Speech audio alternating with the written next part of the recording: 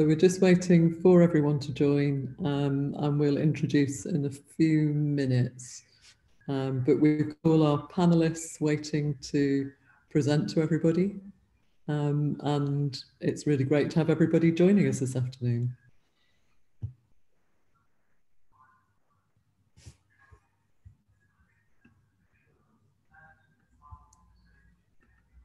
It always looks very sunny at at Drawing Projects UK. You always give this impression of, of always sunny at Drawing Projects UK. Um, we had some uh, some people through in the show who took some photographs of how much light there is in the building. Um, it's a building in Wiltshire for those of you joining us for the first time, which was built in the 1920s, so between the wars, and it's really designed to make as much light in the space um, as it possibly can. It's a very beautiful space to see drawing. Hmm. So everybody's just gathering. We've 60 people in the audience so far, and we've now already started the slide. So I think we should start because I'm not sure I can pause my presentation. Shall I download and start again? Yeah, I think I think we should uh, start again. Start again to have that first slide, just so we can. Or you just get my desktop for a moment. Are we there? Brilliant. So we have five minutes while everybody gathers, um, because we know that people are joining us from all over the world this afternoon. I'm Anita Taylor. I'm the I'm all sorts of things. Um, I'm the founder of Drawing Projects UK. I'm the founder of the Trinity Buoy Wharf Drawing Prize.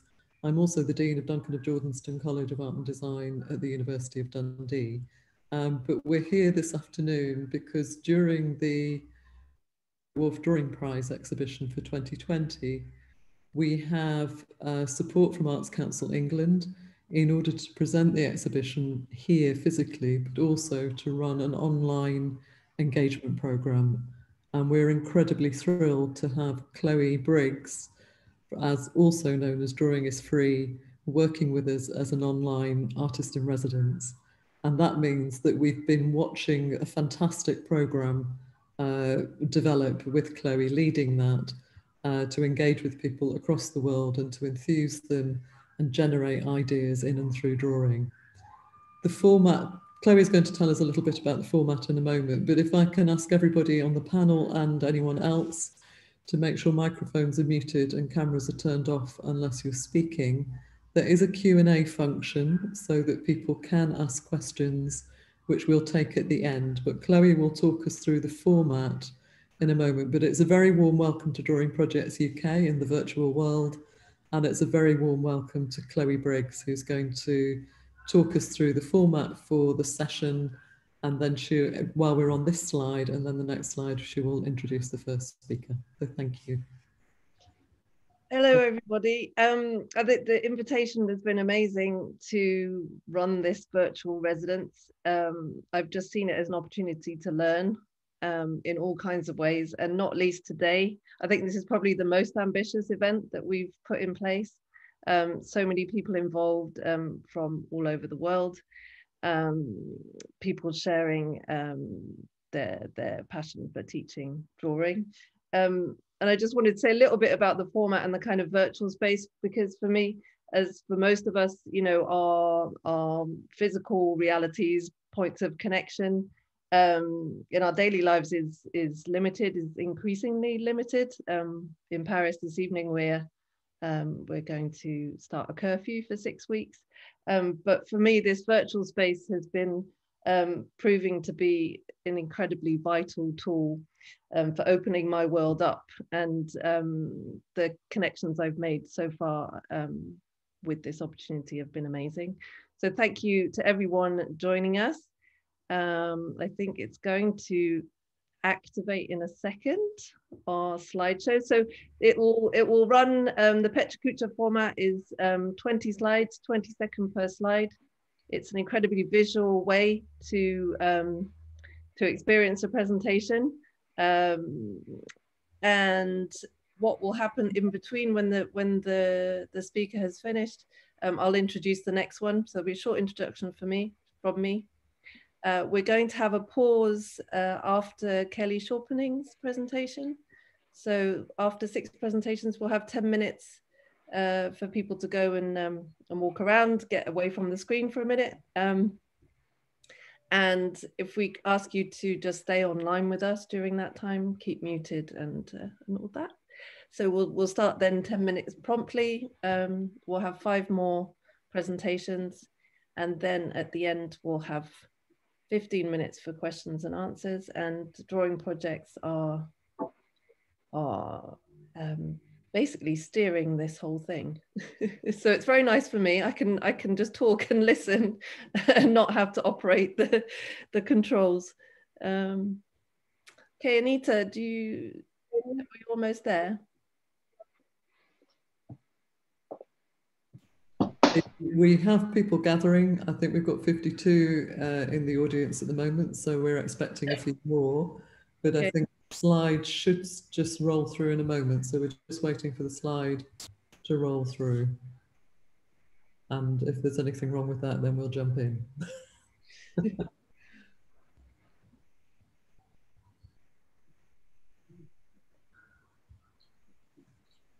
Five minutes seems like a long time, doesn't it? I know. I thought. I mean, I I was I was ready to talk for a long time there. There you go.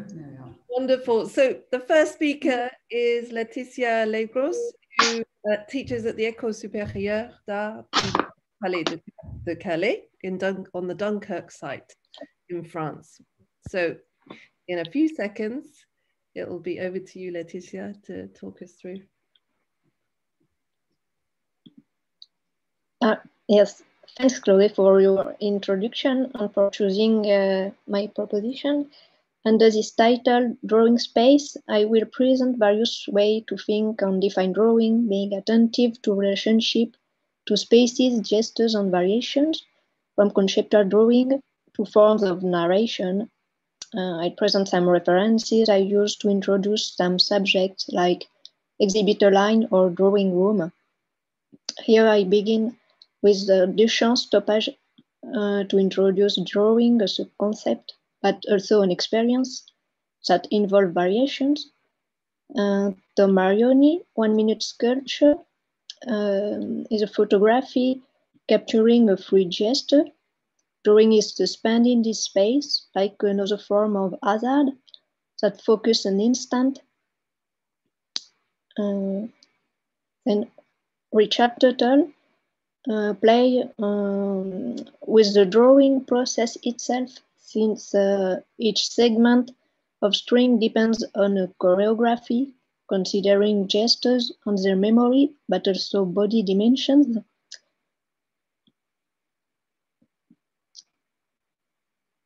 Here, um, an image, another line drawn by a man walking, going away from the camera, a motion analysis by Marey by means um, of a bright spot located on the lumbar of the subject.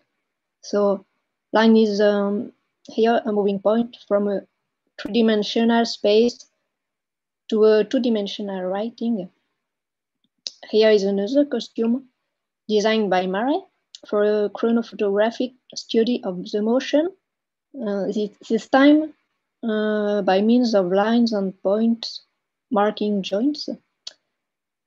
These scientific images has deep meaning as introducing various contemporary experiences in art from choreography to modeling tools or performance. Uh, a body sculpture and performance by Rebecca Horn, uh, like an invisible line made by walking, which could be an echo to the Richard Long line uh, three, three years uh, earlier. Here's Matisse uh, drawing realized uh, using a stick, a long stick uh, on the ceiling. Uh, this image is, uh, relative to a subject drawing room. Uh, so here is a cabinet of curiosity. because some sometimes the artist is also a kind of collector a style, still of the film uh, Felix in Exile by Kentridge about drawing on paper and deployment of drawing on wall, depending to personal, logical, and intentions. Also interesting about the context of the work. Here is uh, Silvia Bächli about uh, relationship uh, with drawing room. Uh, I often refer to, uh, to this artist through, through uh, visuals. This one which present earlier drawings. on this one, a view of her studio. Studio also has a room to see, to think, to organize thinking, uh, on drawing by various scales and working.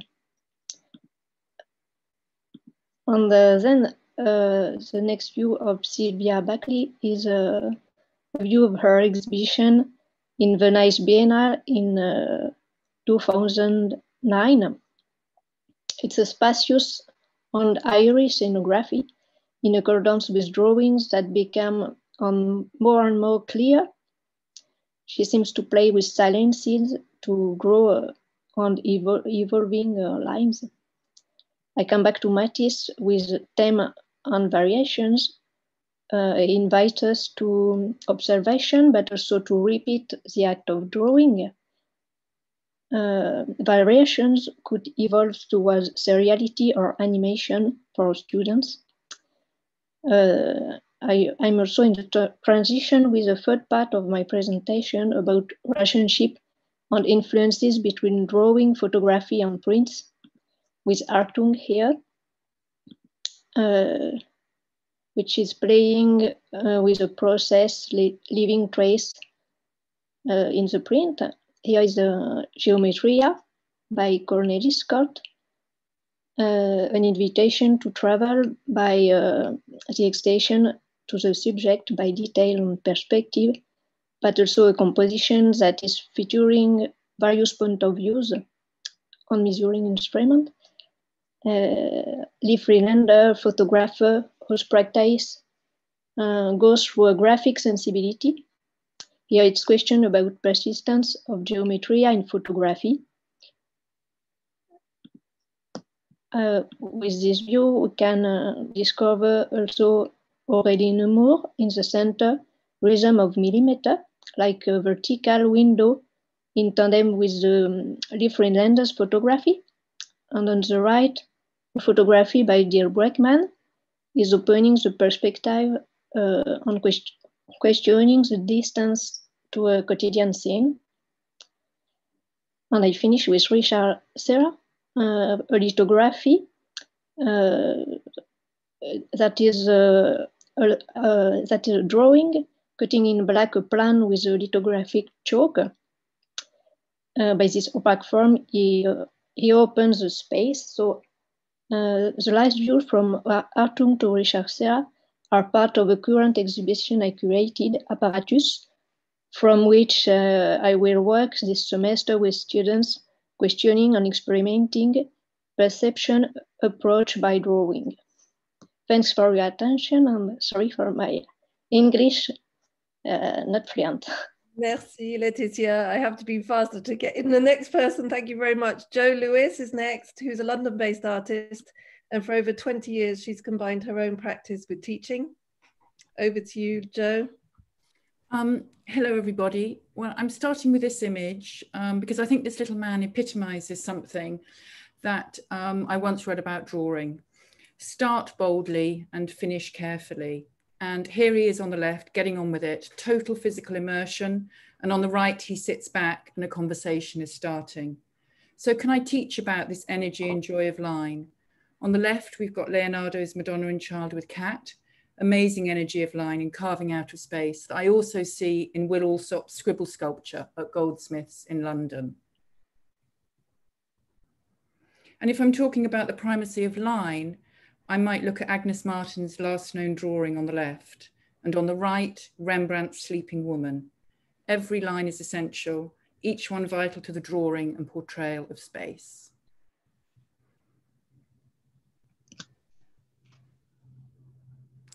And how can I teach about drawing as a way we constantly navigate our relationship with the world around us, whether or not those drawings are totally ephemeral? On the left is one of Layla Curtis's message in a bottle GPS drawings. And on the right, two recent walks of my own. And I, I love the fact that it all ties together with these red lines. Now, this little girl is actually sitting in front of a mirror, and the project was to do a self portrait. But the drawing for her has quite naturally become an extension of herself, and the two are one. And in the same way, on the right, with this Zaha Hadid sketch, if you look at the line of the landscape at the bottom, the drawing starts with that line and seamlessly goes into the imagined space of her design. So, how can we increase our awareness of our bodies in drawing? Rebecca Horn has accepted that her body is limited and has found ways of extending into space. And in doing this, the image of her with her extensions is as powerful as the drawings she creates. Um, here, London Film School students are drawing with rope to inspire a new project. They're using lines of rope to connect and draw in and with space. A new line of our inquiry is articulated and explored, and then they made short um, films on their phones uh, of their drawings in the landscape. On the left is a drawing by Tiepolo, two female figures. The lines aren't static, it, they dance, it breaks and the drawing literally breathes. And on the right is a sculpture of barbed wire I saw in a local gallery, actually no idea who did it. And the shadow it casts creates the same strong dancing animate line. But can we let drawing surprise us? In Raphael's drawing, there's hardly any body apart from these disjointed hands. And on the right, these two students become a double-headed life model, exploring the concept of being the model and the artist. Can I encourage students to explore and push the limits of the materials they're using? Can they get to know it, experiment? On the left, first year architecture students at the Bartlett are stretching ink in as many ways as they can to describe the city, and on the right is Rembrandt's Seated Man, showing the artist totally at one with their medium. Can I teach students to be the brush, the pencil, the pen, not the artist? On the left is work by Yang Yang Wen, using ink in a myriad of different ways. And on the right, Silvia Bächli's untitled drawing shows this incredible subtlety and control. These photos are from a project with a group of screenwriters. We know the tree on the left offers an infinite possibility of response, but we also know that everything doesn't need to be shown to capture it. Can I teach the students to be selective, to focus, to edit and play?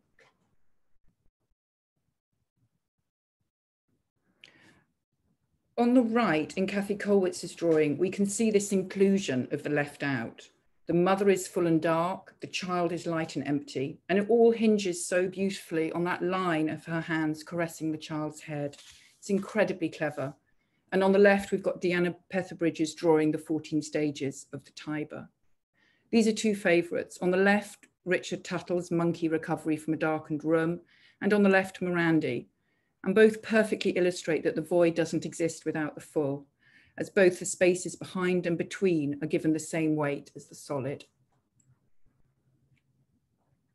Uh, three things on this slide when thinking about tone. Pierrette Bloch's, Bloch's horsehair knotted on nylon wire, Claude's landscape, and Frank Auerbach's portrait of Leon Kossoff, all using the light and dark of tone to build space. Uh, this was a project with a class of six-year-olds. We looked at Uccello's St. George and the Dragon in the National Gallery. And I then asked them with complete freedom to design their own dragon. And most of them, the reality of St. George's two-legged, humped back, curly-tailed dragon was now their reality, uh, as in the drawing on the right. I put in the drawing on the left, the Keith Tyson, uh, thinking about drawing as diagrammatic and, and, mapping of ideas. My daughter is dyspraxic, and in her undergraduate English literature degree, she would quite often uh, swap from prose in her essays, which she was allowed to do, into drawing, and they quite often look like a Keith Tyson. Um, on the left, Leon Kossoff, Dalston Junction, and the architect Paul Stallan's den drawing, this building, this carving, this um, the, the line is almost weaving the form on the paper. But I also want students to make the drawing their own in a way that's incredibly sort of just and poetic. On the left is Michael Landy's Creeping Buttercup from his Nourishment series, and on the right is a contemporary Polar Carmen. And I'm just ending with this page of photos, thinking about that parallel of the visual language of drawing as we begin to see the possibilities of drawing everywhere and make sense of our whole, how we interact with, with the world through drawing. Um, and interestingly, the wires of the National Gallery audio studio and uh, the phone wires seem to be about communication. But thank you very much. And thanks, Chloe, for asking me. It's, it's, it's, this is going to be an inspiring afternoon. We're going to get drawing after this. Lucie Russell is next. Thanks, Jo. Um, Drawing People Together was founded by Lucie Russell in Peckham in 2017, which creates socially engaged drawing events and workshops for everyone. Over to you, Lucie. Hello. Um, I've chosen to begin with this uh, piece of local graffiti as it so joyfully plays with the notion of representation and subjectivity. Hat or spaceship, mirrors, duck or rabbit. I love that it works as a throwaway joke or serious philosophical question.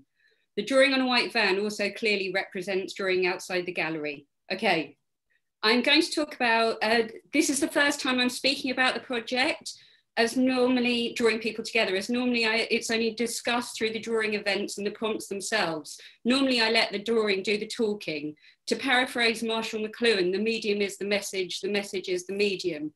I'm going to ask you to draw some of your own conclusions, some of your own pencil tips. Um, there'll be an address at the end if you want to send them, um, because my relationship to teaching is more engagement or facilitation as a catalyst. Um, this sketch was chosen the idea that simple drawings can underline uh, complex content.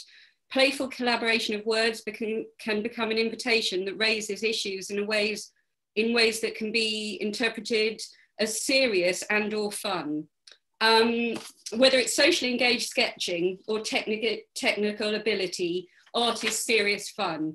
Um, I create site-specific events for a diverse range of abilities, um, drawn adverts, uh, invite attendees, but also work as visual prompts. Um, basically, thankfully, you can spell something out, but everyone will interpret it differently. Uh, and now, sorry, I did it too fast and now I'm too slow. These are how I love seeing hands, hand drawing hands. Um, this is art on my sleeve, a badge making workshop and an exhibition of wearable art. The badges became framed for art that you could wear and hoodie a temporary gallery until you wore one yourself and became a roving gallery.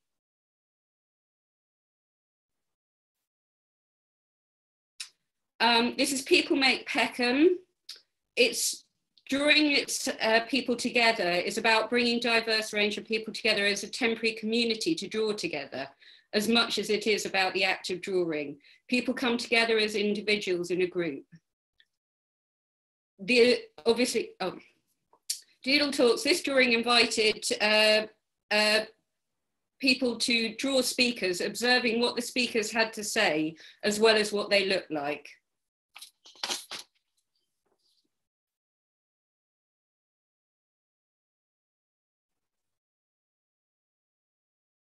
People could explore and take home multi multimodal ways of communication, their interpretation of an event that happened.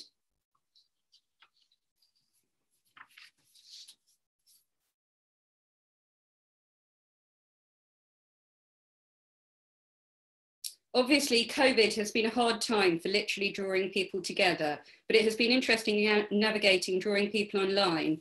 And this workshop with chronically ill people raised some very interesting issues about socially distancing bodies.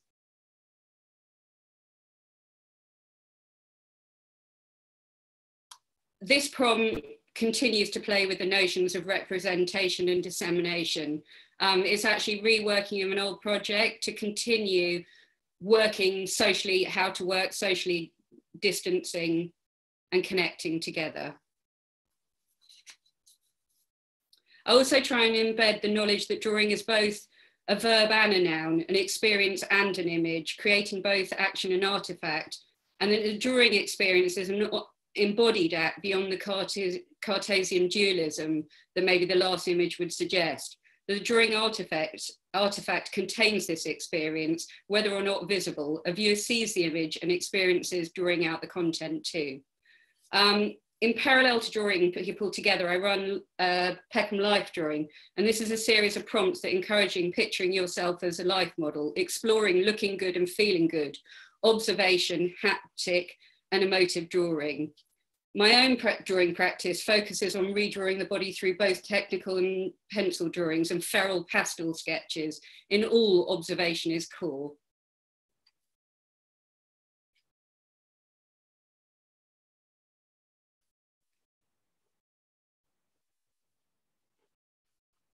as with most uh, drawings, I hope this speaks for itself. I, you know, the main thing is don't objectify anybody's body, including your own.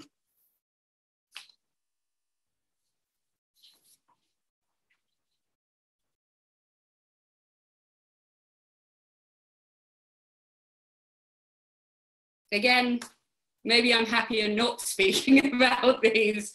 And I think, yeah, my aim is really about interpretation. So um, there are a couple more slides. And if you do have some drawings, please do send them in.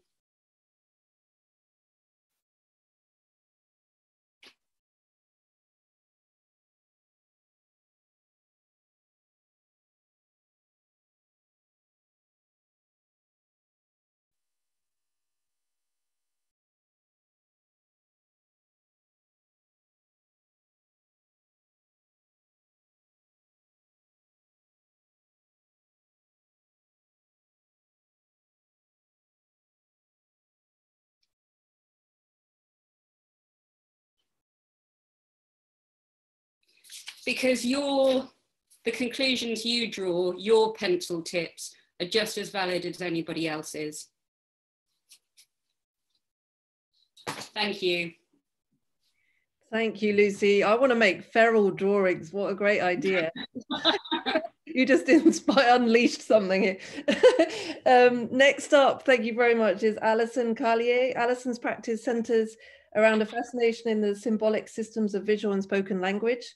She uses drawing, audio, text, and working with others to find ways to circumnavigate the thinking brain and analytic thought. She currently teaches adults and drawings for beginners, life drawing and drawing and mindfulness. Over to you, Alison. Thank you, Chloe. Um, so I find I'm always searching for ways to help students bypass the thinking brain when drawing, um, how to truly see and use the senses when drawing from observation, whilst quietening the logical brain and its symbolic systems. So this is Matisse in his studio, very famous image. Um, so I use a variety of techniques with students to help them see and suspend judgment of their work. Um, so it might be extended tools, but blind contour and non-dominant hand drawing to engage this inquisitive right brain. So when teaching drawing for beginners, a sentence that um, we often reference is draw what you see rather than what you think you see. So I'm imagining that Van Gogh really, really was drawing what he actually saw, not, oh, I know what a street looks like, I'm going to draw that. Um, so there's a difference between drawing what you see and what you think you see. So when teaching drawing and mindfulness um, and beginners, I aim to help students to spend judgment of what they're drawing. Quite often they won't have ever drawn um, or have very low esteem about their ability to draw.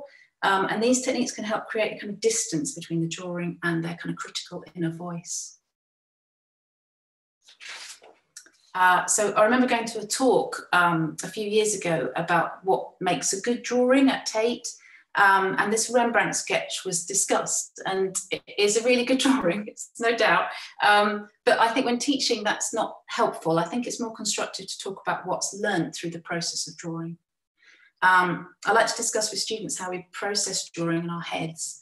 So, how we take in information visually and kinesthetically, and how we might use muscle memory or haptic sensations to gauge pressure uh, when we're working tonally or varying the thickness of line like Hockney here. So uh, Heath's spatial blindfold uh, drawings using only touch um, help students to take on a broad view of what observation can mean in the context of drawing, whilst taking a detour around analytic thought. So I'd argue that it's almost impossible to use logic if you can't actually see what you're drawing. So encouraging students to start with tone, uh, maybe using the side of their charcoal whilst drawing from observation also helps them relinquish control over the drawing. Um, so seeing the object or subject as less defined by boundaries. So I imagine that um, Käthe Kollwitz started with tone here. So um, this is Ray Land, um, who came up with the theory of threshold concepts and troublesome knowledge. Um, and I find this helpful when teaching to remind students that it's normal to feel uncomfortable uh, when you're learning something new, and it's my job to kind of guide them through that feeling. So here's two of Oldenburg's fabulous statements from 1961. Um, I am for an art that grows up not knowing it is art at all, an art given the chance of having a starting point of zero. I am for an art that comes out of a chimney like black hair and scatters in the sky. So this is my father-in-law jumping into a swimming pool as a young man, and he's now 94. um, and for me, this image sums up an approach to drawing. So that idea of leaping into the unknown, like when we start a drawing, we don't know how it's going to go. Um, and I think if we can embrace that and not kick against it, it will help the work to be more open-ended. Uh, Lucy Gunning, um, this image was taken during her residency at the Centre for Drawing. And Michael Ginsborg commented, there may be very few actual drawings in my sense of the word in the show, but the show embodies, embodies an attitude, which is a drawing attitude. And I became completely obsessed with what this drawing attitude could be and its potential for drawing. So, um, however, I'm still fascinated in those symbolic systems I talked about at the beginning um, and finding ways to kind of circumnavigate them. And I love Smithson's drawing, how it crosses over from the visual to written language effortlessly working through this blur between words and pictures so that the words become the pictures. Um, so Jasper Johns, his work sits between the image and the symbol as well, again, breaking up this rule book of how to process visual information. Um, and again, this notion of really seeing, truly seeing. So he said, one hopes for something resembling truth, some sense of life, even of grace, to flicker at least in the work.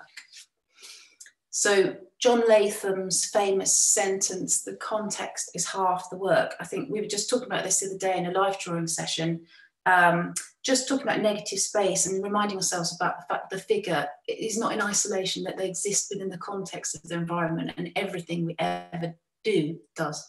So uh, Richard Wentworth, um, I think questioning what we see and how we understand is so important when teaching drawing and that everything is subject to change. Um, and so Wentworth is a master of this, and Lisson Gallery describe his work as breaking the conventional systems of classification. There might even be, like, oh, I'll go to it later. Um, Fiona Banner, so life drawing is one of the backbones of my practice and teaching, and I love to see new ways of representing the figure to stretch both my imagination and those of the, the students. So in Fiona Banner's Performance Nudes series, she describes observations of the female form using handwritten words rather than drawn marks and Antony Gormley, he has this expansive take on the figure um, and the space it takes up in the world. Um, and his approach to drawing seems to be focused and yet experimental, which I think is a really good role model. Um, and I love the way these marks are playfully rendered with the ball bearing kind of dipped in acrylic and then they roll across the paper. So I worked with Ackroyd and Harvey on this project, A Lens on Life, and Dan had found the technique by hitting a pencil at diagonals across the paper multiple times. And I just would encourage students to work with each other and to work together because I think you learn such a lot from each other. Um, and it kind of expands your perceptions of what's possible. So my overall aim is to engage others in an open-ended dialogue on the fluidity of drawing as a practice and to get excited about the potentiality of drawing and explore how this unique subjectivity of drawing can bypass the thinking brain and those pesky symbols I was talking about earlier. Hmm. Thank you very much. Thanks, Chloe.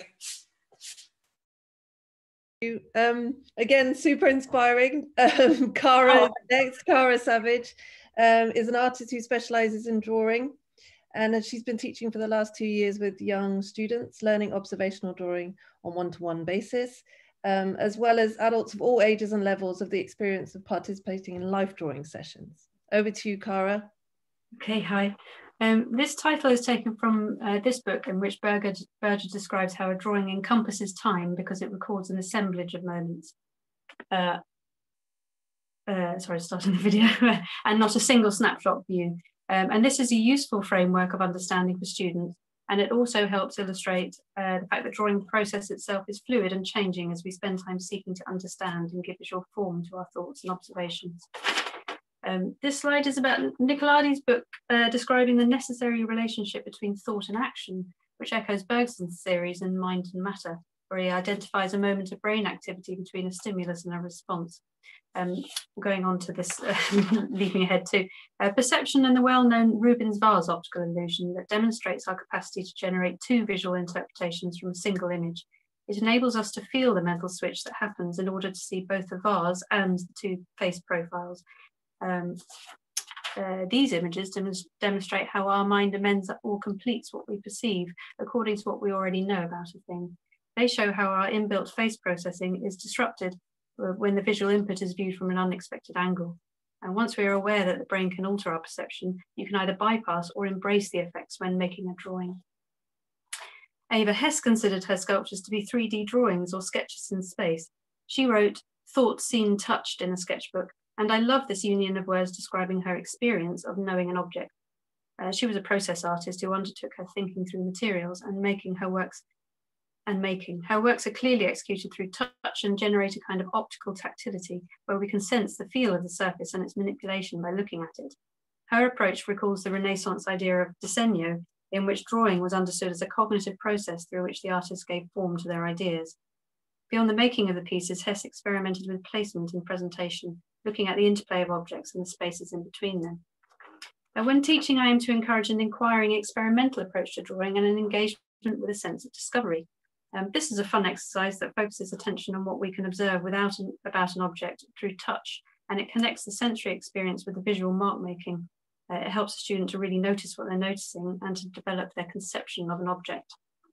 Um, looking at how we make marks when drawing, these old letters written with a dip pen show varying line weights and individual, individuality of hand. Um, if someone cannot modulate their line at first, then you can try carbon paper with hard or soft tools to show the different tones um, and larger scale, they, you can try charcoal and move the whole arm and body when drawing. Um, here's some beautiful examples of drawing with line by Van Gogh and Klimt. Lovely directional marks and more densely drawn areas that move towards tone. Klimt's figures have a simplified outline and he exaggerates shapes using his knowledge of anatomy. Uh, Rodin and Schiele, um, again, deceptively simple use of line and also selective line but underpinned with their understanding of anatomical structure. And they have interpreted what they see and manipulated their vision to create their representation. Um, of course, when teaching life drawing, obviously you can't go up and touch the model. and it's useful to have a model skeleton alongside the life model. And it's really helpful to be able to identify landmarks on the surface of the body that describe what the internal structure is. It helps the drawing to be a believable construction.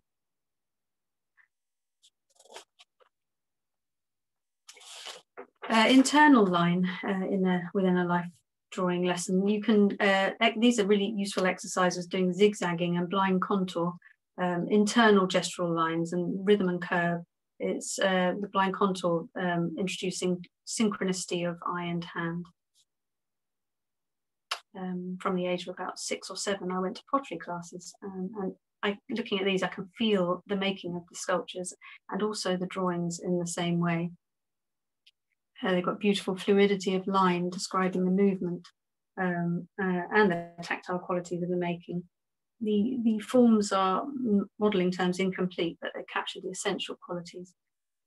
Um, here we've got Henry Moore drawings uh, with his use of cross contour line to describe volume and form.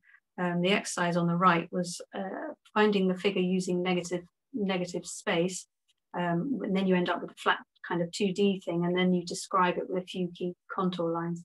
Um, introducing tone to students, I like to start with white objects uh, and introduce the idea of drawing without line. So finding the planes um, through either lifting off charcoal from a charcoal ground or applying blocks of tone rather than outline. Oh, this is a slide on uh, drawing the head, where I've got a real skull alongside the model, so you can again refer to um, the looking at the um, planes, the sides of the head. You can put your hands over your ears and move your head and feel the, the sides the, um, and the volume. If you get the model to uh, give permission, if you get everybody to help feel the weight of the model's head, they get some concept of the mass that they're drawing. Um, it's gone on to the next slide, which is uh, sculptures, uh, Corradini, um, Medardo Rosso. The veiled head is very interesting because somehow um, students often find it easier once the, just the features are uh, less visible, less drawn to represent those. Oh, now we're on to um, Jenny Saville um, and Auerbach, which are good examples of uh, composite imagery um, using layering of imagery, so which can be showing, um, documenting changes over a period of time or reworking, uh, manipulation of the image and presentation.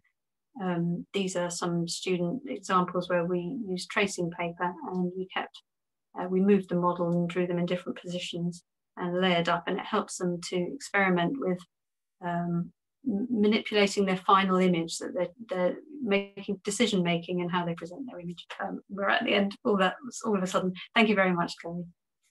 Thank you. It's wonderful. I like that. The idea of leave, what you leave out as much as what you put down. That's like staying with me. So thank you very much. Kelly Chorpening, it's actually a recording, but we will come on in a second, is an American artist based in the UK. In 2016, she was shortlisted for both the Derwent and Jerwood Drawing Prizes. Um, we will hopefully all play.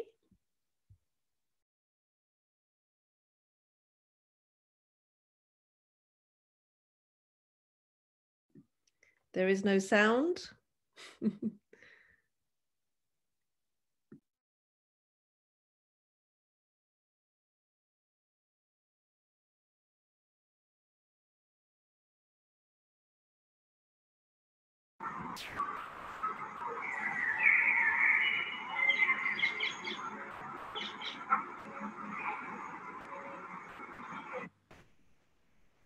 Thank you. That, that went right to the end. quite what happened there. Um, I can't replay it, but I think we're there. It, you needed my sound on.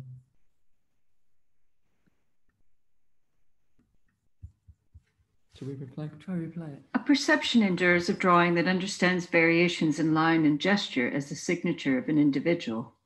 The art historian Michael Newman discusses drawing as both an event and a thing for the way the weight of the hand and materiality of substance are discernible upon the surface. In other words, in viewing drawings, we're confronted by marks on a surface left by an individual using a particular material at a given moment in time, and these factors are important to how work is perceived. Vija Celmins help, help push representational drawing into the conceptual realm. By filtering the observational gaze through the camera's lens, the resulting drawing asks the viewer to ponder what exactly it is that they're observing. In the next drawing, the artist Robert Longo wanted to evoke the tradition of epic historical battlefield paintings in both its scale and composition. The image is transformed into something more iconic and more of a confrontation for the viewer, urging them to contemplate their own relationship to the mass shared image, far more than the original photograph ever could. Mm-hmm. Hal Foster's observations of Longo's work also apply to Joy Girard's. How it is not, not only the labor involved in the process of drawing, but the vision that deepens during it. Stitch has been widely used as an expanded form of drawing, and the process and materiality are intrinsic to the work's meaning the painstaking process serves to elevate the anonymously made graffiti gesture, or can be made more poignant, knowing that the artist made the work in bed as he was dying from AIDS.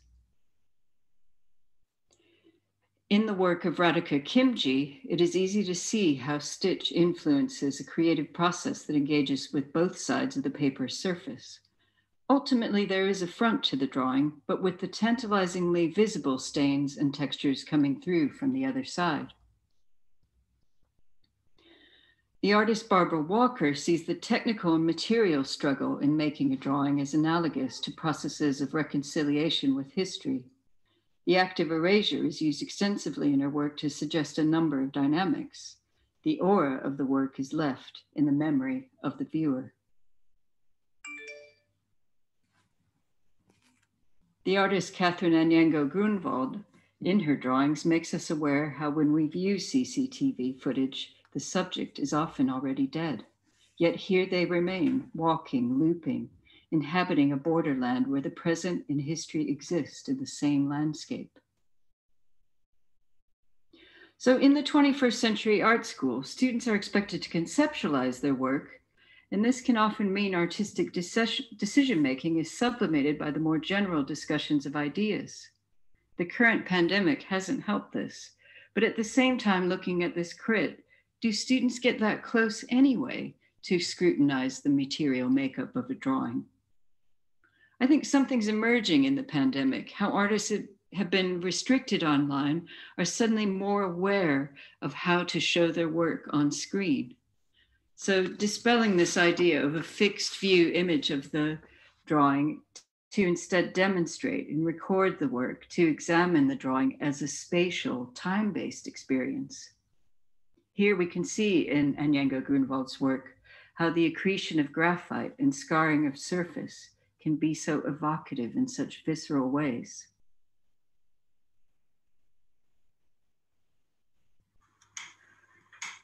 Since lockdown, I've also started to examine the difference between documenting my work and showing it online. The documentary image, anyway, never quite serves the work very well. The short film, the detail shot, and the recording of the work in progress all help demonstrate how technique, materials, and slow accumulation of marks are integral to the work's meaning.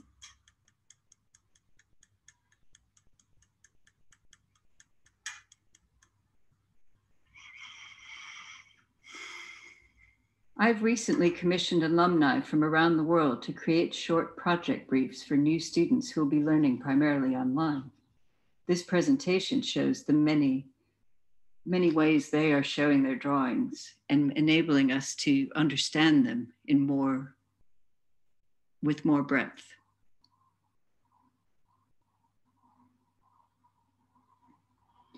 Where in the classroom or studio crit, students express frustration that not enough of their work gets seen or is adequately scrutinized, films enable the artist to pace and direct the eye up, close, across, and over time at how work is developed.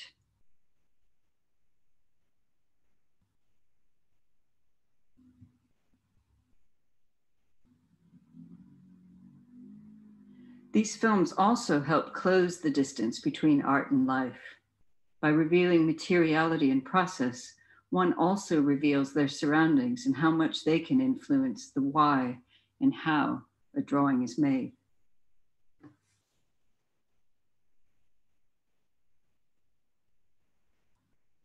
In a film like this one, it's easy to appreciate how ideas are more often things that the world impresses upon the artist. In a student context, in a teaching context, this is really helpful to dispel the notion that ideas must be fully formed at the start in advance of making. It also becomes clear that work is often made through collective engagement with ideas, through being in the world. This film, I could appreciate the collective mark making in this work on a surface moving through public space as an object in search of audiences, the artist asking questions during a You were cut short, Kelly, I'm afraid. well.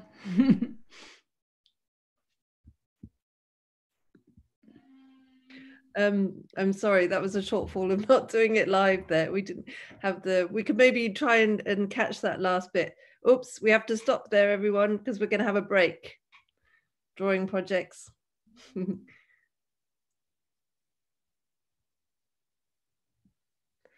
Okay, what we're going to do now is we're going to just take a 10 minute pause. Thank you, everyone. That was like a rush of ideas and inspiration. We're going to have a 10 minute break. If everybody stays, the audience stays with their stays online with us, that would help. Um, just we don't have to to have everyone um, leave and come back again. Um, so thank you very much. We'll we'll be um, listening to Prili's presentation. Um, they're in Rio uh, right now, so um, we'll have a, a short pause. Thank you very much.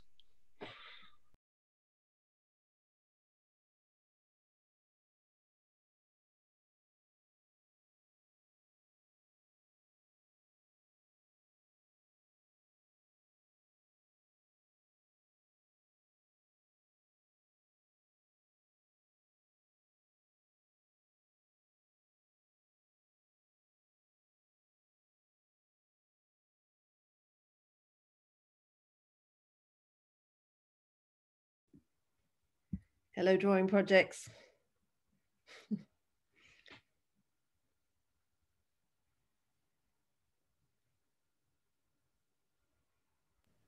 The, um, we're almost ready to start again. Um, the slide should just run automatically onto your slide.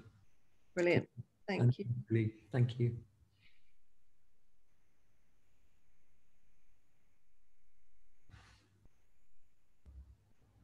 No, I can't see mine. Hope everyone rested their weary eyes from the screen for a minute. and um, really, I'll, I'll introduce you as soon as my slide comes up.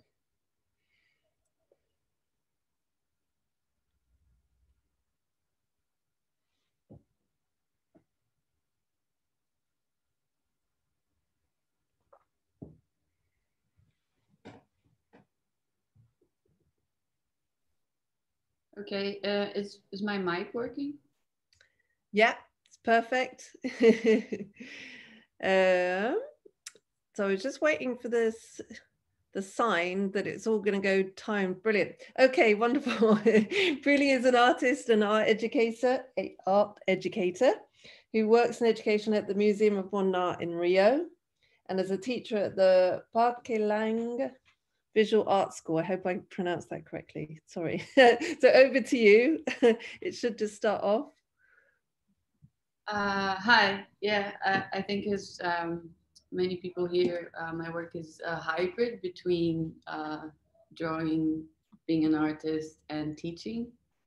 And a lot of the times, uh, the art I present is actually a collaboration, and um, I consider teaching as a studio practice as well. So here's a very personal selection on popcorn. Uh, Aztecs uh, had a really spiritual relationship with popcorn. Uh, they used to put it in their uh, clothes for rituals and um, dancing and Jews and popcorn. So festivity called Purim. Uh, this is sort of a carnival uh, and a very popular snack in this festivity is popcorn and therefore a famous costume for the festivities as well. Um, for African Brazilian uh, religion, candomblé, uh, popcorn is sacred and it's an offering you give to the, um, to the spirits of healing. So the popcorn is seen both as the wound visually and the, the transformation is seen as a process of healing. Um, the United States kind of took a, a, very capitalist turn on popcorn and uh, with the red and white wrapping and the price rising of a very cheap snack. Um, well, you get that kind of aesthetic that we're very used to. So popcorn is a very um, street um, famous snack because it's very easy to make on the move and very light to carry. So very popular in street markets and in these little carts that I really enjoy, especially here in Rio. Not now in the pandemic, but okay. So in 2014, I was drawing popcorn, I was sculpting popcorn, I was filming popcorn, and Kelly was my teacher. So hi, Kelly. Thanks for that. Uh, so I was drawing visual, uh, digital popcorn and installing them on the streets and in maps. So a six year gap then, and 2020, I'm working at the museum and I've decided to start um, suggesting home-based workshops for kids to do at home. uh, with simple materials. And then I remember that I really like to draw popcorn and that could be a really fun exercise, especially because making popcorn is fun by itself. Uh, you hear the pop, you eat it, you put it with salt. Um, uh, the kids are in the kitchen. So uh, it's a process that begins uh, a lot before than the actual drawing of the popcorn. And after the popcorn is made, you can actually look at each popcorn and see how unique they are. And there's a word in, in Brazil called piruá, which is, uh, you know, the corns that stay in the bottom of the pan um, that don't pop, they're called the piruá. And people who don't change here are called the piruá, which is um, the same. So this is a person who I think really captured uh, the exercise I was proposing. So I took this example. I think these are beautiful popcorns. Um, and you can see that ever really looked at each popcorn that they were drawing. And I, that's a, a personal favorite. With these, I was a bit frustrated when, when I got them back because um, I, I was like, the wrapping became a protagonist of the drawing instead of uh, what I thought I was proposing. And then I went to, uh, to Google how to draw popcorn. And I found this really interesting, uh, I could find the drawings on the first page. And then I, it told me a lot about kids today, how they're Googling things besides what you tell them, and also how our collective unconscious is very taken over by that US capitalist change. So I got a few ways to draw popcorn with a friend, um, Vinicius, who is in a project in the museum as well. We're doing with people living in the street situation, and he's an artist as well. So I asked him to help me out, and we made a few drawings together. So um, so the first step uh, is to pick the popcorn. So you choose one popcorn, you choose the side, you place it, and then if you don't like it, you can just eat it. So there's not much frustration involved, which I think it's a nice um, way to start. And then, okay, classic exercise. A lot of people have, uh, have said this already but I think it's a really nice way to draw popcorn because it, once you do the surroundings, whatever is left in the middle is a popcorn. Uh, it doesn't matter the shape. Um, there are no mistakes involved because uh, no one knows which popcorn you drew. There's not a, a, a model popcorn. Uh, another very classic exercise, but I think uh, this one is a very nice uh, paradox between a very abstract drawing and a perfect popcorn. Um, yeah, so any color drawing would do. I use sanding paper and brown, but um, I would think any color would do. This is a personal favorite because it's very quick. So it's just the outlines and the orange blobs that, uh, that was uh, the corn before. And this you can really see quickly the amount of possible shapes you can get uh, from uh, a handful of popcorn. Um, this is uh, something I was doing at Camberwell as well, which is to actually paint the popcorn, which I think it's a very uh, small shift uh, for you to notice that you do not know the, what shape a popcorn has. Uh, and suddenly you lose uh, what scale, you lose reference to whatever that is. So thanks. Uh, if you do send me your popcorn drawing, I will be very happy. Thank you. We got work to do. You, you, you and Lucia sending us work to do. It's great. I've never seen, I've never thought of popcorn as so fascinating till now. Thank you very much. That's brilliant. Um, Louise Bradley is next, painter and printmaker based in Newcastle upon Tyne. Alongside her studio practice, she's a freelance educator with 25 years experience, facilitating hundreds of projects and practical sessions for people with varying levels of experience. Thank you, Louise. Okay, thanks, Chloe. Um, yeah, I've, I've started to work with a group online who've never really drawn before. So I have to surprise them. I have to eliminate their anxiety. So I would do a lot of warm ups. So this one, you, you kind of, you can use your eyes around this. It's an ancient five path labyrinth, or maybe seven. Um, so, you know, it's got one path, but you would be drawing this. Another thing based on an advent calendar. Um, you you don't look at the paper so this is really common kind of blind drawing but you start at number one and you draw to number two and then to number three, etc. So everyone should end up with the same zigzag drawing. So it's just trying to remove people from realizing what they're doing. Oh, this is a little film. Um, I don't know if, if someone could press play on this.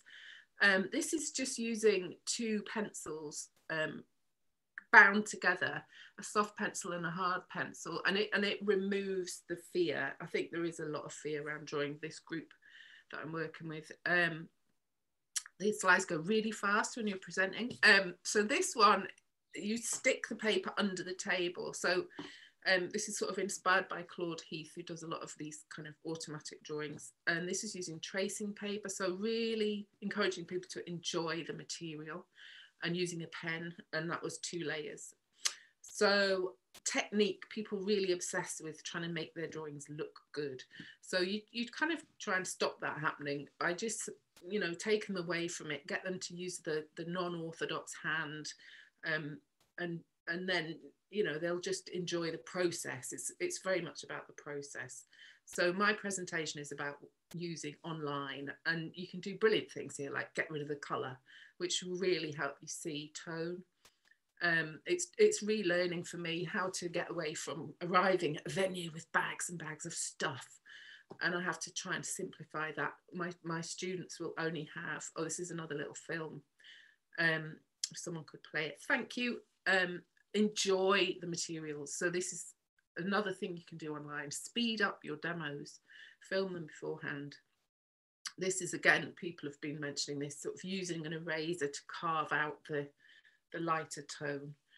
Um, use of line, so these, these images, both using kind of contour line, got Dürer on the right and um, ah, totally forgotten his name. Um, Chris Riddell on the left, of course um, really powerful images. Both uh, it was the pillows that, that got me, um, and then just using what's around you to draw.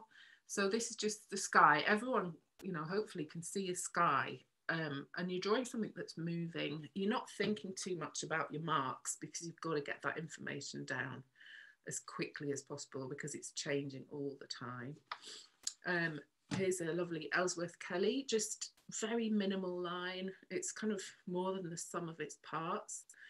Um, just really observing, I think, um, revealing the process of looking.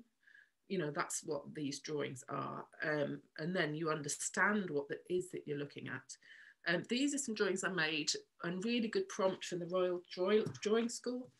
Um, which are time based. And the time of the first one is minutes, and then the next ones are just to do with your attention. So you move on to the next drawing as soon as you kind of your attention goes from what it is you're drawing. And classic uh, negative space. So I just find it this is essential. It's really simple way of looking, but it's really, really difficult um, because you're just switching your mind um, to drawing something you would never normally look at. And these, all these exercises are really based at these, these beginners. Um, looking here at composition, so we're using paintings to draw from all of these, you know, everyone's looking at the same image, which, which can actually be really helpful with instructions. Um, this was trying to work out golden section, golden ratio. Um, more mark making, so really um, getting people into exploring, using their materials, making marks, and being inspired by these artists. Um, so a lot of energy going into these drawings here. Um, and also thinking about using the paper, the blankness. Um, charcoal really, although a lot of my students wouldn't even have charcoal, um, just how to use the materials to, to show something um, clearly, you know, using different marks and just practicing, just getting them to practice and to let themselves free a bit. Um, another good thing about using the screen, um, you can just put in grids, you know, you can draw on the screen to demonstrate what it is you're trying to show people. Um, so again, composition, you're finding middle lines, you're working out where things are. Um, and, you know, a lot of this is just stuff you couldn't normally do.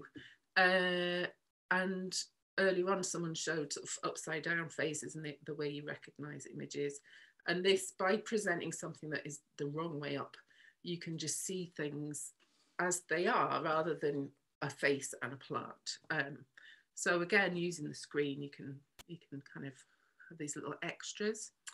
Uh, portrait drawings, again, drawing on the screen. So I'm, I'm trying to show foreshortening and perspective here um, by using these little devices, little techniques. So looking at the shape of a triangle on someone's face, and that will straight away give you the tilt of the head. Here's another little film. Um, and this would be about drawing sound and movement. So I don't know if, if someone could play this little tiny crow. Um, it's quite weird, but it, you know, it's about trying to draw blackness and movement and sound. And then this is the last slide. And this was just a bit of feedback from a student who had never really drawn before. So, you know, comes to every session. He believes he has a right to try. And I think that's just what we're all trying to do.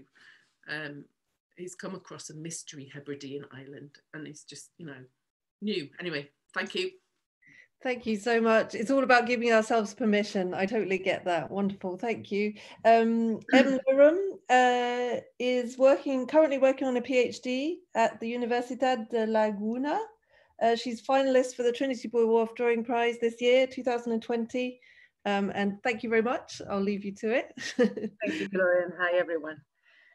So when we go to art school and we learn how to draw, we are usually learning the traditional way of drawing which is basically uh, about observing carefully what's in front of you and putting down on paper the right proportions and shadings in order to represent a model. But once you master this technique, you may need a new challenge and you might find explore, uh, exploring an unconventional or alternative way of drawing uh, more intellectually exciting. And one of these alternatives is drawing performatively. Drawing performatively means focusing on the act of drawing itself and on the body of the producer rather than on the image being produced. The aim here is not to represent faithfully an external reality, but expressing person, personal uh, thoughts, emotions, or experiences. Therefore, we won't be able for accident, uh, we won't be able for intentional results, but for accidental results. Through a process-oriented uh, drawing practice that focuses on gesture, movement, and physicality, we can find new ways to express ourselves or to find ourselves uh, halfway between drawing and performance. There are many exercises that you can try in order to draw performatively. Most of them involve setting some kind of constraints or game rules that you set for yourself, such as the use of certain materials or bodily limitations. For example, drawing with your feet. You can also try prioritizing other senses over sight. For example, turn off the light and use your touch to navigate the piece of paper in order to draw a figure. You will discover surprising results that you couldn't have discovered if you allow your eyes to, to lead the process.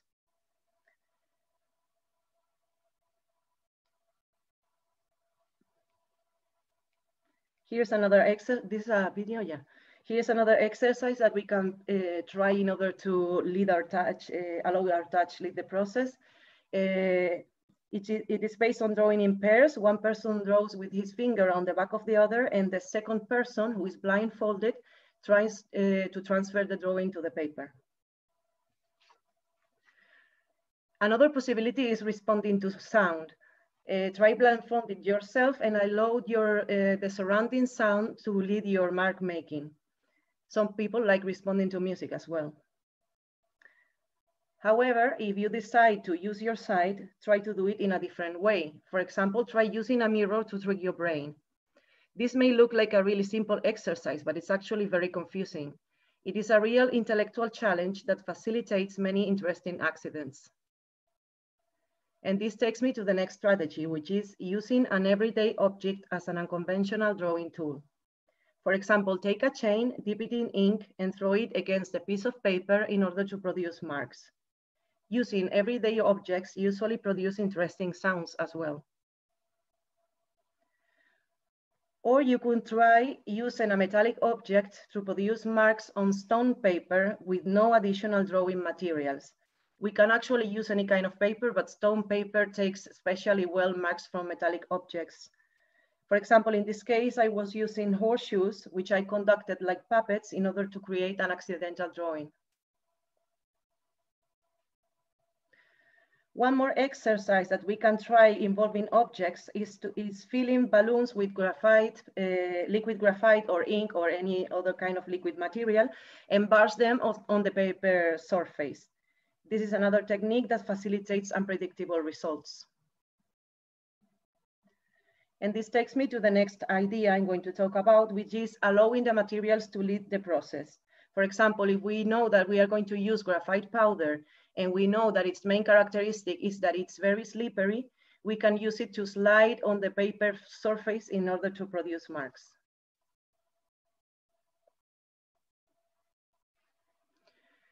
You could also try um, to plan a drawing activity that pushes your body to its limits. For example, in this case, I was running between these two columns, making marks on them and repeating this action until I got exhausted and out of breath.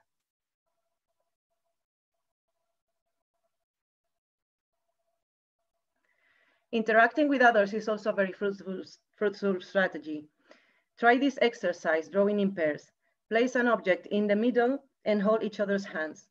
Then with your right hand, try to lead the other person's left hand in order to draw the object and allow the, your partner to lead your left hand at the same time. Or you can also try drawing collectively. Arrange a drawing session with a group of people and set a basic game rule. This game rule could be as simple as responding to other, to other people uh, gestures or marks. Or you can play with a set of rules. For example, in this case, participants were asked to walk along the paper drawing circles, stop below the lights, and only resume their march when the next participant touched their shoulders.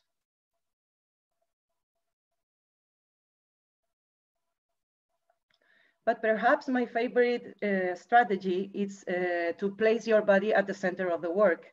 And I'm, I mean this both in the figurative and the literal sense. You can allow your body to lead the process and produce a resulting image that is an indexical trace of your body in motion. For example, your, your body may become a drawing tool handled by others. Or you can try making an ambidextrous drawing to create a symmetric image that is closely related to your height, width, and body flexibility. The good thing about these exercises is that anybody can try them regardless of their age or previous drawing experience. And as you can see, there is an infinite number of possibilities. So I invite you and encourage you to invent your own strategies, to think outside the box, to question what drawing means, and to explore the meeting point between drawing and performance. Thank you very much for having me. I hope you enjoyed the presentation. Thank you so much. Again, there's too much inspiration. We're going to get on and homework. Fun homework is brilliant. Thank you. Um, Marta Cruz is next. She's an educator and researcher in the fields of drawing, domestic space, and material culture. Uh, and there's a full-time adjunct professor at ESAD, College of Art and Design in Portugal. Over to you, Marta. Hello, Marta? Hello, do you hear me? Yes, we do. Yep. Do you want to turn your turn your video on? Okay. Can I go on? Yep. Absolutely. Okay, so thank you, Chloe, and all the organization for this opportunity. We see here in the first image the hands of four famous architects at work, reminding us that drawing is a way of physical, tactile, and corporal way of thinking. Think with your pencil, measure with your hands, used to say my teachers in architecture school. And yet, while teaching drawing, I realized that even if unfolding from human measurements and body since antiquity through Renaissance and the 20th century, this approach leaves important special dimensions at sites. When we are drawing space, we are not only thinking and looking at space, we are inside space, inside the same space we are trying to seize and decipher. And that means that for an architect or a special designer, the inhabited space is never, as we see in this Manet painting, a neutral, distant background for the isolated foreground figure, but a very complex interrelation of successive planes where light, shadow, color, and textures are at play together with the observer, the furniture, objects, and material surfaces of the inhabited space. As this is so complex, rich, and dense, I find my students many times confused and trying to analyze each element separately. So to guide my students in the learning of the, and connecting to them to these dimensions of space, I have been experimenting with some small devices built by the students themselves that simulate space but exclude our own body from it. These are small models put at the eye level in which students observe the interplay of light and color. We start by this first one, designed to, for the studying of lights as alternate mm, instrument to perspective to describe space. I urge students to experiment openings and variations in space by observing the interest of the generated effects on the atmosphere. Students are guided to observe and draw the shape of lights and tonal variations of space. The small scale of the model seems to be useful for them in providing an interactive perception targeted to the shape and value of the air between the elements, walls, ceiling, pavement, and objects, rather than lines of perspective. This is a very intuitive perception that tries to put together the elements rather than to reason intellectually about them. This has been giving students the foundation for drawing and describe atmospherical, smooth ambiances and deepness of space, which grounds them to the other almost immaterial dimension of space, which is color. Color is a powerful matter in architecture and for future interior designers I teach. Its use and comprehension is beyond the impact color has as an emotional dimension. In being so connected to light and so variable with light, color in space seems more seems to be more understandable if deriving from a sensitive atmospherical approach to space rather than to perspective. And here again, the students build a small model, assembling different color surfaces in which they place a colored elements, most of the times a fruit with a reflective skin.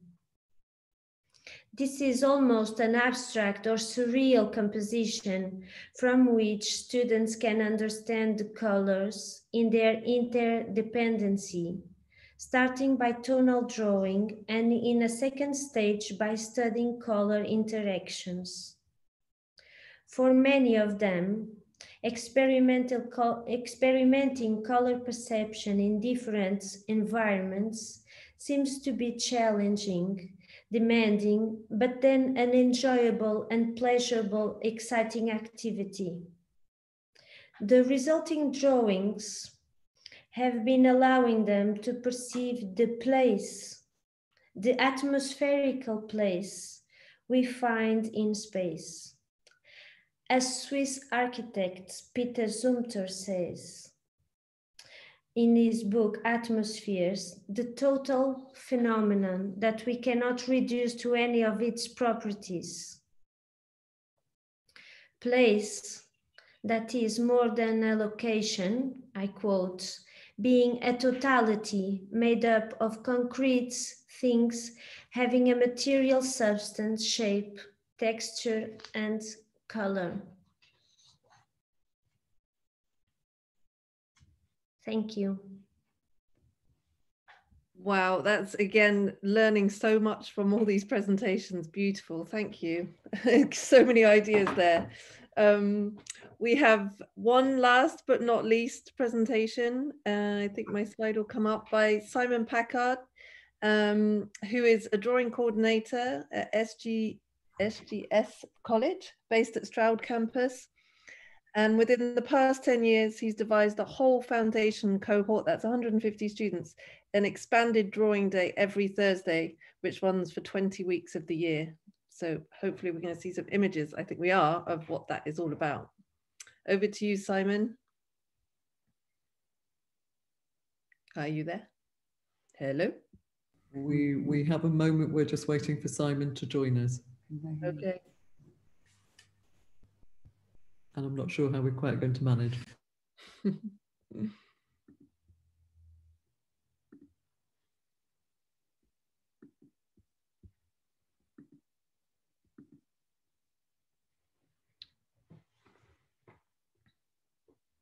Are you there, Simon?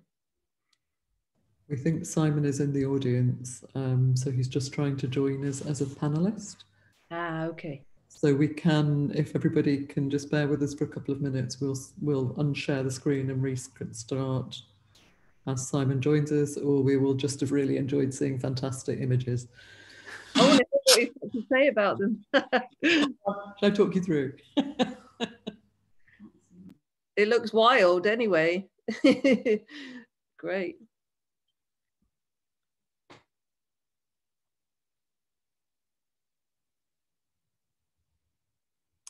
Hello, can you hear me? Yes, brilliant. Sorry about that. I um I was signed in by my partner's Zoom address, which is a rather odd. Um, can I start? Can we go back? Is that possible, Anita?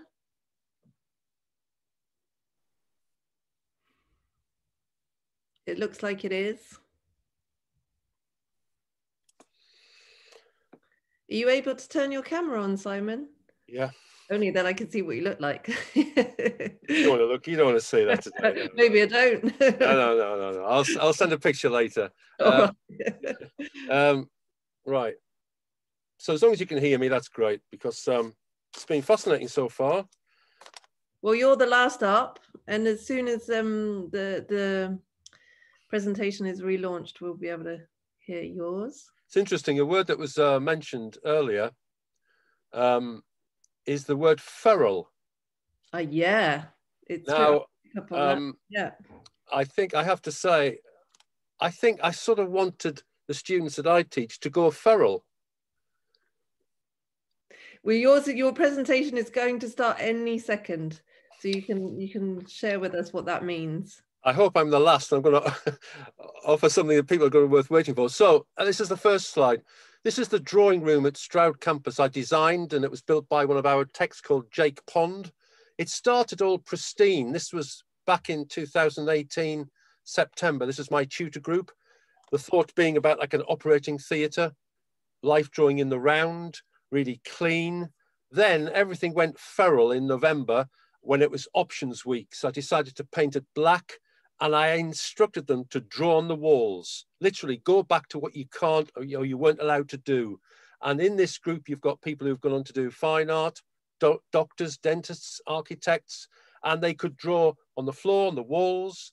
And this, these two pictures, these panoramic views show one week, which is life-size life drawing, and the next week is costume drama and the person dancing in that costume was an ex-royal ballerina that we discovered as being a student there, not in art, in something else. So she was coaxed into doing this, and uh, local costume shops got involved, and it became a theatre. It became a sort of place where anything happened. Uh, it soon became apparent that other people in the college wanted to see what was happening in there. So musicians started to come along the corridor when they heard music being played and then this is a film, if you could play this film. Uh, this is uh, a student called Suki drawing with her point shoes into flour. And to be witness to this, this proximity and so closeness to somebody doing this with these sort of um, ballerina uh, gestures was amazing. There's a short film on the left there showing how the room looked at its at its sort of dirtiness, its sort of chalkiness. And this is Suki modeling toilet rolls, sort of ideas that I cribbed from the internet. Um, so that the room quickly became patternated by what I call endeavor. And these are two short films of students enacting for others. Uh, these students couldn't draw themselves, but they were being drawn. Um, I, I, I use people like Bill Viola um, to sort of reenact certain things that we'd seen in visits to London and how the students took ownership over the space. This is a textile student using a process that I've sort of invented, which is drawing with boot polish into printing varnish. And the surface becomes liquid, it becomes warm, it becomes malleable. And there's some of the garments, and it's not drawn on paper, it's drawn on card. Um, this is what's called chloroplast corridor, where the students at the beginning of the day, they say, right, you have a day to make artwork out of irregular shapes based on cells, and they plaster the walls with them. It, they, it's like an artery of art. And this is one of the drawing days that I'm looking at in my PhD, the effectiveness of these drawing days. Um, this is a really interesting photograph of students from different departments drawing our life model. He's called Dr. Nigel Dodds, and he's been body painted. He's been covered in flour, covered in offal. Um, these are the sort of anticipatory drawing days. Uh, sorry for any vegans in the audience, but this is the most productive drawing day ever. For 10 years, we've done this, and they make glorious prints, drawings. Um, this is from a local abattoir. We take it back. We don't schedule any slaughtering of animals. And everybody does this from photographers to embroiderers. Um, this is another drawing day called Betweenness, where you have screen printed sheets at A1 and the students are asked to do something with them. There's no guide. We have staff, we have a team of staff. So you've got 3D people folding them, crunching them, printing, weaving. Um, this is drawing with blocks of coloured ice on the left there, an idea I sort of stole from the Royal College, but it's revolutionized chalk drawings because the wetness and the chalk together make a paste. And the students love this, and particularly on objects like toys, for instance. Um, that, all the toys like this. Uh, these from my children's collection of toys. On the left, you've got a Steiner toy, and on the right, you have a plastic croc boot. So we talk about different qualities of toys, different cultural toys. Uh, we've just finished this project, part of the rotation, which a room scattered with toys, and I can add my stories to them. This is work by photographers. Um, they print their images onto A1 sheets of drafting film. We have an A1 printer that we punish for this project and they can change them, they can water them, they can scratch them. Um, I'm not interested in the work previous, I'm interested in what they can do on that day with that process. This is the work by somebody called Robin Watkins Davis, who drew with her body on rolled up pieces of perspex. And then she literally distressed every photograph she made with cleaning liquids you can find underneath the sink, bleach, Cif, everything. She was the drawing tool. Um, these are sketchbooks that I introduced called the Big Books. These hang in the corridors. We haven't done it this year. Um, so every drawing they make for 20 weeks are in there and everybody can leaf through them. Ofsted thought these were amazing. They said these are the, the spine bones of the department, which I thought was quite a nice quote. Um, now, this is a drawing project that I had to devise when I worked at a different campus, not in an art department. This is called drawing to delete. They draw on paper and then they cut out aspects of their drawing and then they illuminate it with their torches on their phones, pull the blinds down. So this is a very specifically bespoke project for a non-environment. Um, the person in the middle, that's a short film, if you could play it. This is one of our life models called Nicoletta. Um, here, she's reliving the, the apparent 96 lives that she's had. She's a wonderful performer, a photographer herself, and this is photography done by students. They do drawing as well. And this is a film here of what the drawing room looked like just before lockdown. You've got musicians, you have uh, life models, and on the right is the brand new start of our drawing room Mark II, which is a mobile drawing room built, this is just this week, and it's a, it's a unit that we can take apart and take away. Wow, how do we get onto that foundation course? I want to be brilliant. Such ideas, everyone. It's so generous what you've all contributed to this. Um, I'm buzzing. Um, it makes me want to draw immediately. Um, absolutely buzzing. Um, I know now we've got some time for questions, and uh, if people want to um, write them into the chat, then I then drawing project Anita and Fiona will be will be um, fielding them. So Fiona is uh, the master or mistress of the questions. um, so please feel free to put questions into the chat or possibly even raise a hand because we haven't had many live questions, but it's been such a fantastic afternoon of really exciting and different approaches to drawing. Um, everything from learning about popcorn to offal um, and an amazing amount of energy um, and systematic thinking around teaching pedagogy and approaches to drawing today. And it has been truly fantastic. So I'm just, we're just, I'm just talking while we find questions and Fiona has some. There's only been one specific question so far, which you're was, not, you're on. Am I, can, can you hear me okay through Anita speaker? Yeah. Yeah. Um, we're sitting next to each other, we don't want any feedback. Um, for Louise Bradley, somebody very specifically asked, what is the, who is the painting by of the white window that was in your slide about paint, drawing from painting? You know the one, turn your, turn your, unmute yourself, Louise. Sorry, I, I can't remember off the top of my head, but I will, um, I'll have a look and I'll put it in the chat. quickly. You could, if you pop it back into the chat or into the Q&A, that would be fantastic. Thank you. I've got a quick question that might be cheating, but I wanted to know what was on your last slide, Kelly. Do you remember? it, it ended with an excerpt from a film which didn't rely so much on language. It was images and sound. So it was um, really atmospheric, which I think is you know, one of the things thinking about online teaching is that it can favor words so much. That's that was what I was trying to kind of pull out from those presentations where we could get around that problem a little bit. Yeah.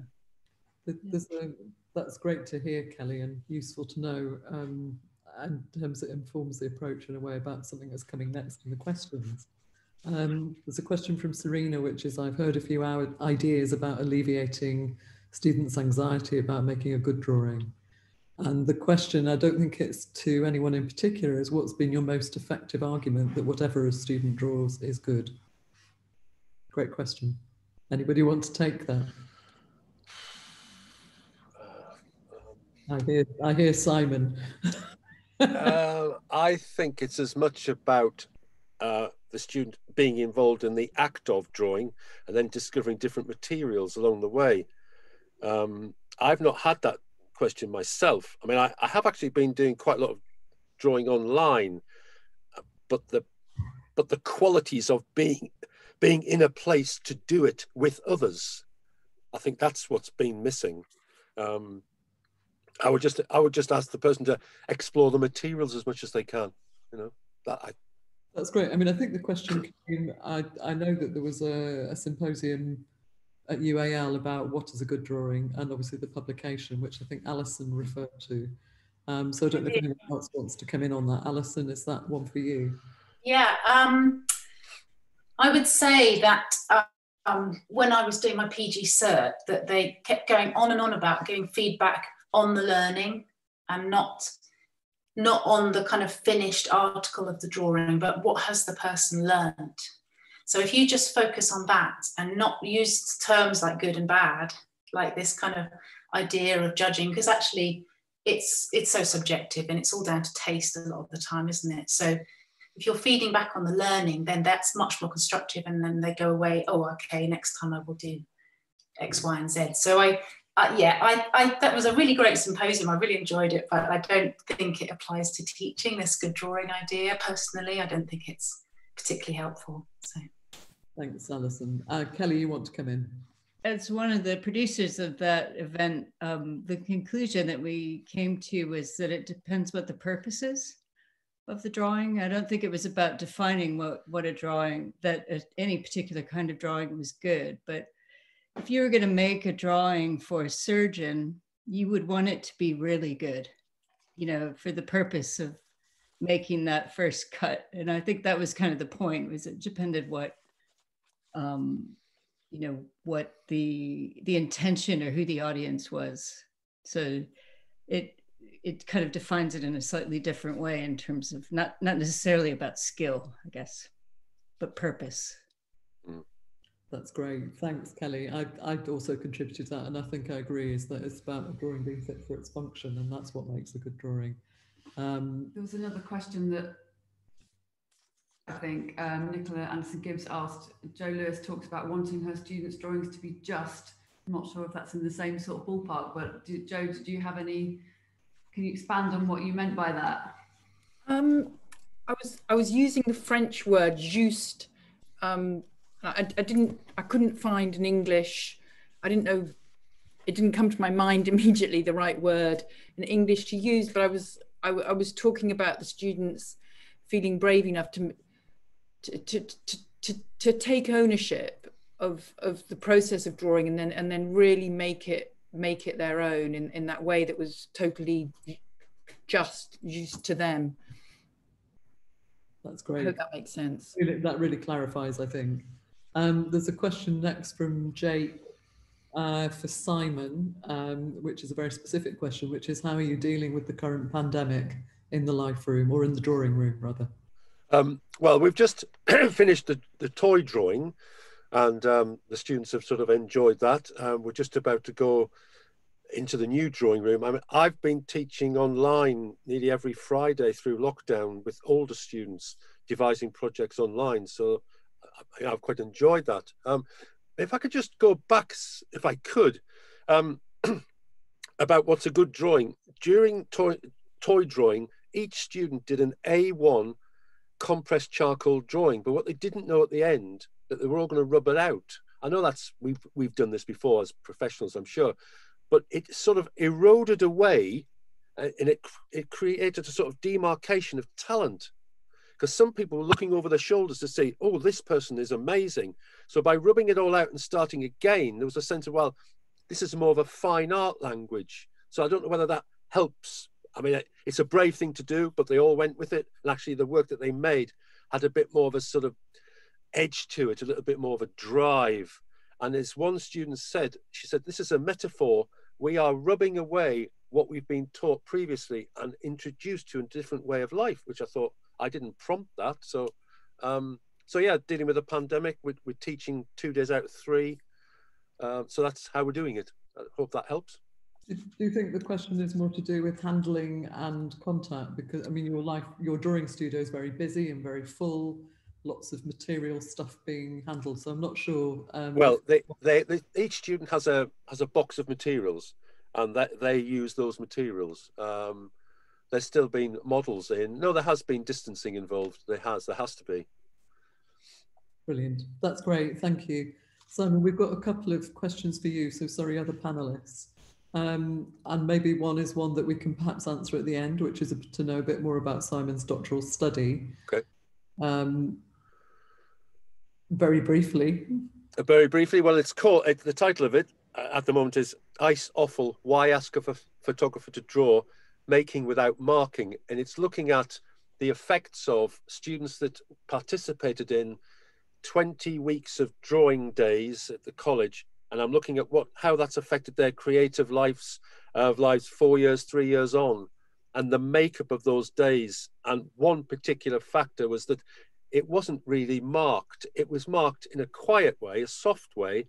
Um, and apart from one project in the year, which was Flesh, which they knew was coming next, they didn't have any idea of the next drawing day theme. And they were free to work in any space. And we, a word that I've been writing about at the moment is commandeered. The drawing days and team commandeered the studios on every floor to work in the print room was negated. It became tables full of ice to use. So it, it was a takeover. It was like a, we were like a parasite course at the end of the foundation course on the Thursday. So that's, that's what I'm looking at. And uh, the spaces that they worked in as well. That's it. Great, thanks Simon, really helpful to hear. Um, next question, um, how important is technique rather than process to the participants? Um, or, or. Do you want to give someone a bit of space, Simon? No, no, sorry, I, I was I, I was speaking as I was thinking. So know you well. yeah. Anyone want to take that? That would that would be a good. Um, I'd love to hear M. Lowram talk about that technique and process. That would be. Well, for me personally, I'm much more interested in the process, at least at the moment. Mm, I, I would say technique is not important at all, actually. I try to do every, every drawing I do, I try to do it differently and use a different material or a different surface or a different work in a different context. But I'm much more interested in how my body responds to the, through the process of drawing and maybe also to um, how it responds to a particular context or the behavior of the audience or but yeah certainly i'm much more interested in process. I can understand that for any other for other artists who are more interested in representative drawing technique would be very important and it used to be for me as well but not at the moment anymore i'm afraid. Does, does anyone else want to come in on that? I mean to some extent everything is about process um, anyone got any other thoughts? Yeah, I was thinking that depends on what you're uh, saying as technique and what you're saying as process. I think uh, your process uh, is a technique with the chains, and and uh, if we could look again at what is technique, I think someone said about children's drawings. Uh, that's a technique that we go back to a lot of the times when we're learning how to draw again. So I think it's also about to see what technique is as a word as well.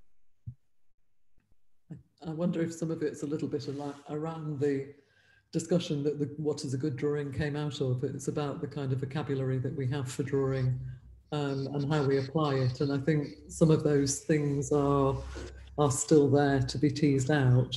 Um, I'm not sure if others feel the same, but I still think there's a, quite a bit of clarification on on some of those, you know, words that we use as verbiage, um, which actually might mean something else in a different context. So it needs to be context specific within that. I'm not sure if anyone else wanted to come in. We've got quite a few questions coming through and we've only really got about five minutes more of questions before we wrap up. So it would be good to, if Fiona can assist in finding the next one.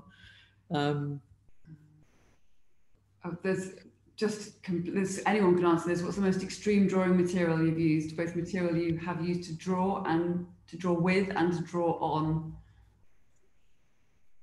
Anyone want to go for that one? Um, yes, I've used fire. Um, 60 foot fire hill drawings. it's quite extreme. And so it took a long time to set up and last you know maybe 15 minutes um, but incredible experience with you know an audience and um, yeah exhilarating like all about the the being there and you know just amazing. That's quite extreme the fire. So we've got fire. I'd um, just want to add um, about using a spoken word um, which uh, uh, just trying to sort of think about how text, I think we talked about it already, but like how words might be sort of analogous to drawing and how might conjure up a drawing in someone's imagination and whether that is drawing and that's sort of um, something I'm personally very interested in, but sort of those boundaries of drawing and whether we kind of slip over the side of that boundary or whether we can pull back from that boundary, exploring that uh, with words. Thank you. That's great. Thanks, Alison. Anyone else? And then we've got another question. Um, perhaps actually sliding from that question would be the question about M. Lowram's PhD study too. There's obviously quite a bit of interest in um, our doctoral um, people out there in the on the panel. Well, I'm researching about performative drawing because um, actually I want to know, I want to kind of understand better my own practice. So I'm researching concepts such as uh, body, space, trace, mark making, like trying to understand what it is that I'm doing and what it is that other artists that I follow and I like are doing. So yeah. Brilliant. Thank you. Sure, that was. I mean, it's a brilliant um, topic and actually really brilliant to see.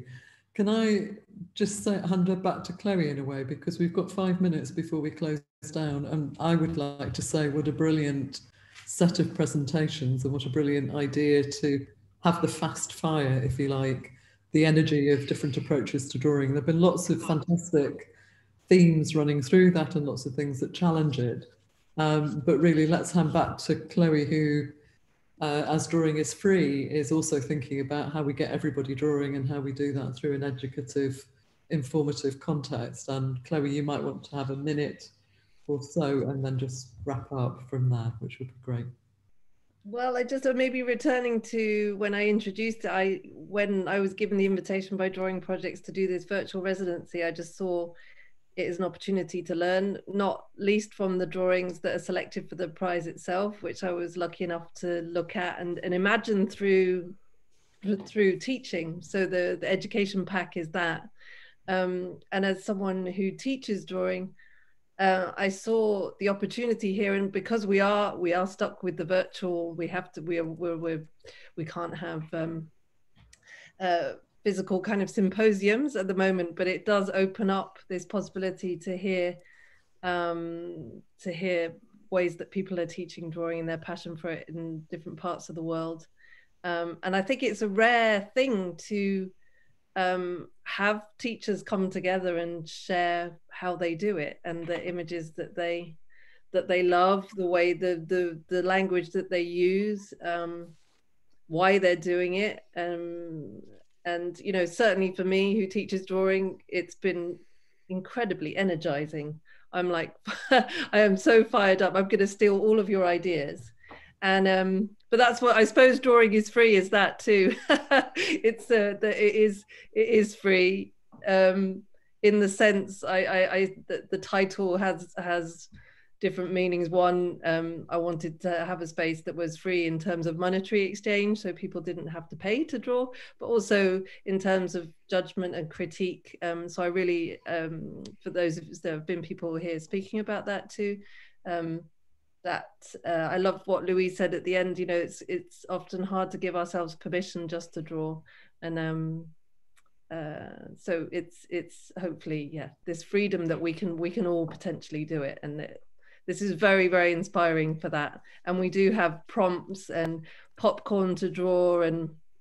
Uh, you know our bodies and touching our bodies making our bodies do we've got a lot of things to do fire not lots of things we shouldn't do at home actually i was just imagining i was imagining simon's simon's online classes and it's the parents writing in to say um, maybe and and marta's very because i i was very very interested in the working drawings element of the prize this year and i loved thinking through those and um, and I have a real interest you know drawing space for me personally as, a, as an artist is a very tricky thing. It's something i'm working i'm always trying to work on um, and i loved i loved those environments and that that was uh, very inspiring to see as well. Um, how drawing not just in a fine art context but in design and um, drawing that has function um, in the way that Kelly described as well, in terms of um, you know medical students and so drawing and all drawing and teaching in all fields. Um, it would I think we need a round two of this kind of event because I'm sure there's there's a lot more. Um, uh, maybe not straight away though, because we were doing a lot of work. I get I get enthusiastic and then I have to realize how much work it is. But um, but thank you very very much everybody. Um, and I know there's a lot a lot of interest to um, have a recording of this, and it will be a very rich resource for people. Um, thank you. So Um, and unfortunately, we can't have a drink together. That's the terrible thing about this. I have to go and have a drink on my own. well, my husband. No, I'll join you online. yeah, join you online. yeah. But normally you can normally people can meet and that's the that's the downfall. But there we go. Otherwise we've all been able to connect, which has been amazing. Um, so thank you. Yeah, can I say a huge thank you to everybody? It's been really fantastic to hear all the presentations. A huge thank you to Chloe for bringing everyone together. And I know we haven't answered quite everything in the questions, but we'll try and follow up with you with answers to that. There are a lot of big thank yous in the uh, questions and answers and in the chat. So I'd like to echo that and just say fantastic. Thanks for spending two hours with us with both Drawing is Free and residents at Drawing Projects UK. And um, please keep an eye on the programme. Uh, there are more events to roll out. And thank you so much for your generosity in spending that time thinking about teaching drawing. Thank you very much. Bye, everyone. Bye. Thank you. Bye bye. Thank, Thank you. very much. Bye. Bye. Thank you. Bye. Bye. Bye.